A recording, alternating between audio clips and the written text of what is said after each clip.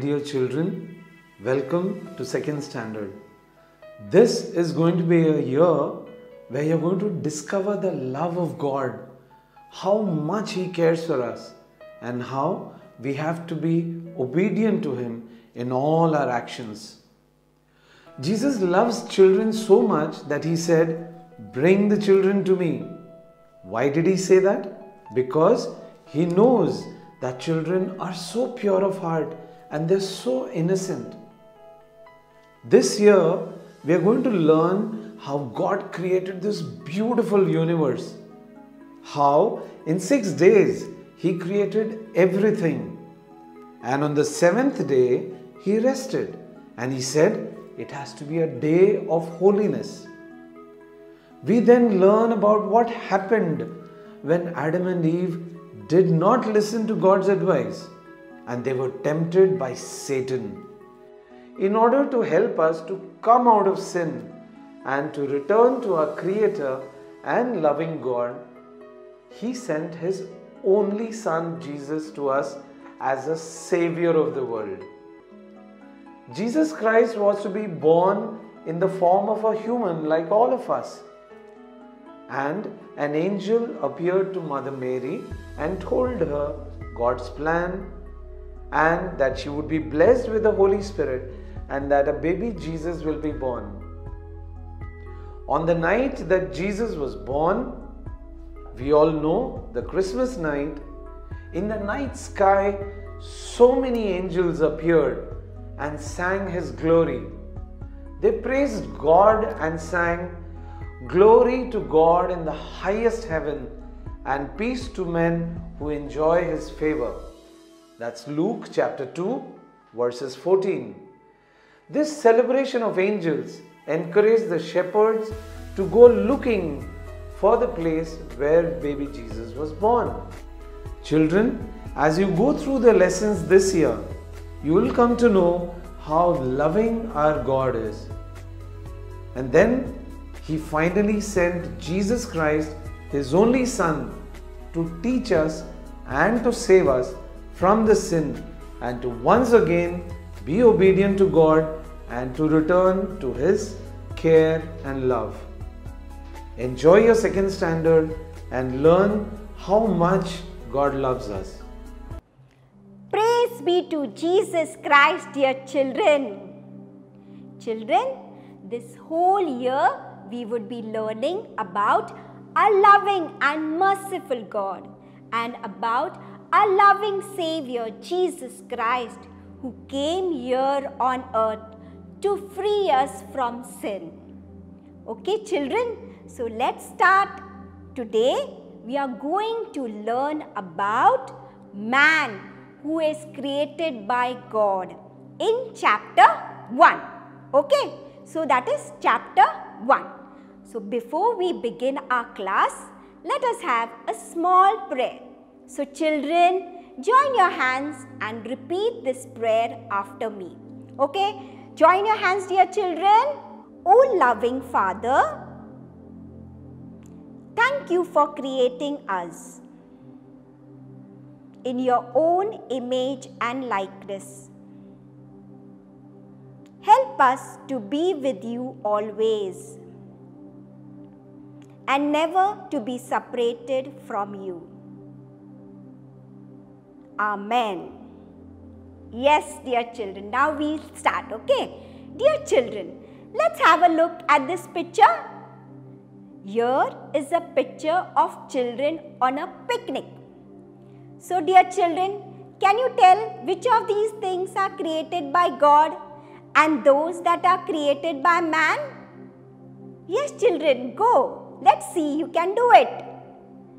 Yes, very good, children. The green trees, the beautiful flowers, the fresh grass, the juicy fruits, the blue sky, and the little children are created by God. And did you see the table? Yes, the table and the huts are made by man using the things created by God. In this picture of zoo, see here there is one more picture of zoo. All the different types of animals are created by God. Yes. So, my dear children, let's start. Let's look at it from the start. Okay, children? We'll look from the start. In the beginning, what was there? Nothing. Nothing was there. It was completely blank, empty. Everything was blank. And God decided, what He decided? That He will create a beautiful universe. So, what was the first thing He did? Anyone knows? Okay, today I am going to tell you. On the first day, He created light and darkness. And this we see in Genesis chapter 1, verses 3 to 5. So, there was light in abundance. You know, light is also energy, isn't it, children? And God created light, and then to balance that, He created darkness. So, my dear children, on the first day, God created light, and to balance that, He created what He created? Darkness. So, light and darkness. That is on the first day. Now, let's go on the second day. Huh? So on the second day, what did he do? Anybody knows? I'll tell you. On the second day, he separated the sky and the sea. That we see in Genesis chapter 1 verses 6 to 10. He created the sky with air in it, breeze flowing, wind blowing, and he created the sea. What is the meaning of that? He created water. The earth was full of water then God decided that after the air and water being created, he wanted things to grow. So he first he separated the sea and created land. Understood? He created land. So step by step God is creating things so that life can appear and grow and flourish. He was preparing a suitable condition for all kinds of life to thrive. So, my dear children, on the third day, God created dry land and plants. And this we see in Genesis chapter 1, verses 11 to 13. Then what happened?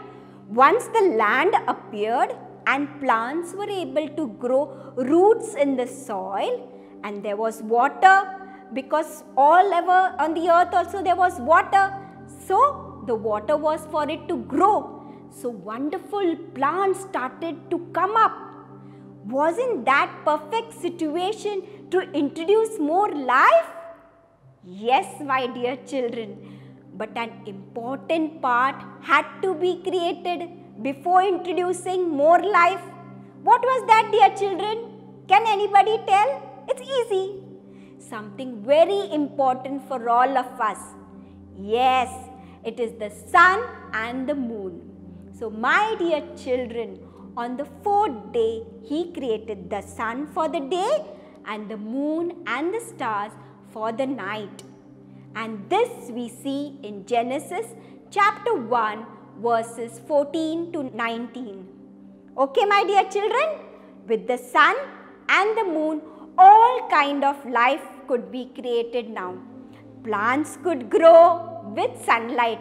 So now sunlight was there. So plants was getting, they could grow. Moon would light up in the night sky. Even in the darkness, moon was there. So there was light even during darkness.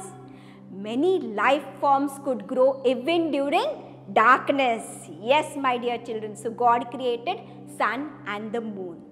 After creating this perfect situation for life to grow, an energy source like the sun and the moon being there to create a favorable situation for life to continue. What did God do?